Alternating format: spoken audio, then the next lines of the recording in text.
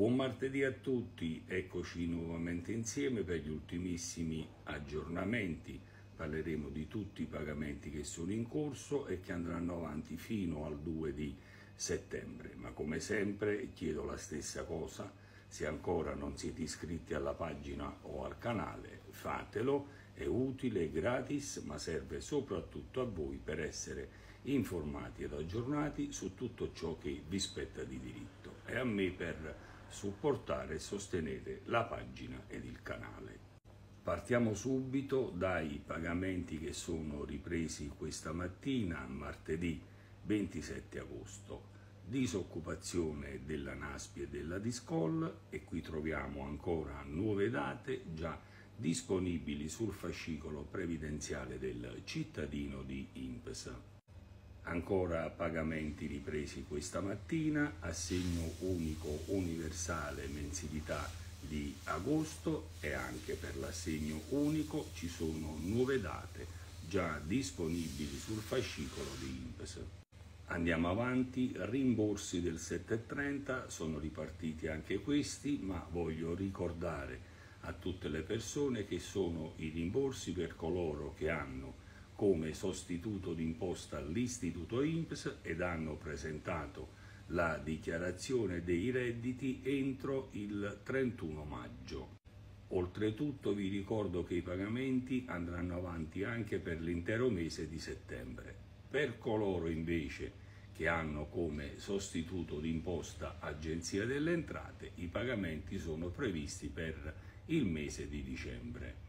Andiamo avanti perché ci sono anche nuovi pagamenti per quanto riguarda il trattamento integrativo sulla NASPI e teniamo anche date per domani 28 di agosto. Questa mattina invece sono iniziati i pagamenti per la maternità comunale, poi sempre questa mattina nuovi pagamenti per il bonus asili nido. Restiamo in tema di pagamenti perché sono attualmente in corso le ricariche per l'assegno di inclusione ADI, quelle di fine mese. Ci sono ancora tantissime domande senza lavorazioni, ricordo che sono comunque ritardi da parte di INPS perché ci sono stati anche determinati errori in quanto hanno sospeso tantissime domande senza alcuna motivazione.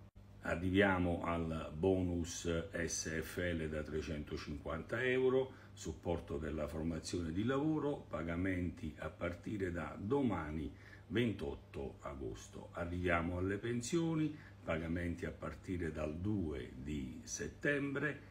Si attende comunque sia, nonostante domenica, il primo, un anticipo per correntisti postali. Per coloro invece che le ritirano in contanti allo sportello, ci sarà il solito calendario in ordine alfabetico partendo dalla lettera A alla lettera C e arriviamo alla fine perché siamo addirittura d'arrivo per la carta spesa o carta dedicata a te da 500 euro perché anche altri comuni hanno iniziato a pubblicare le liste dei beneficiari aventi diritto.